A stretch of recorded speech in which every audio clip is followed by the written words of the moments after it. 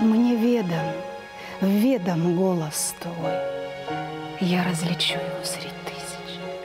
Он может в сердце искру высечь И, увлекая за собой, Явить и благостность твою, И жертвенной любви величие, Но и у жизни на краю Сумею ли ее постичь я?